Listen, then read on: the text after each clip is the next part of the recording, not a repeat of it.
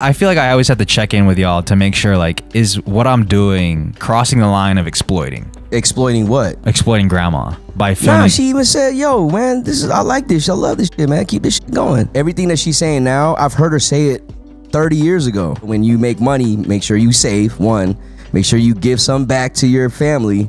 Two and three, make sure you eat, man. That's Yeah. the three things. that Yeah, yeah. This is crazy. This, uh, it sounds like I'm your accountant, but before the grandma shit, before all, even before you start posting her, you were already like doing well with YouTube. It's just the perception because people are just might just know you for that. Right, right, right. Which I understand. Yeah. You're not gonna take the time to like watch my thousands of videos that I put online. there's a lot of them yeah and and now that now that you have like a million followers on youtube it trickles down to all the older videos so like you're probably seeing residual income it's just like music bro like People send me messages saying like, "Yo, I lost my grandma last year."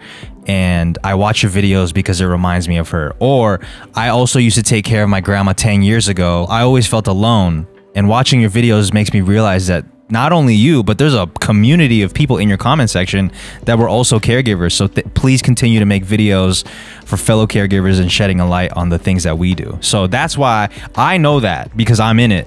And I understand that people don't uh, from the outside might not be in the comment section or seeing my messages like that. So I can I can understand where people are coming from when they're like, "Yo, like are you taking care of your grandma just for business?"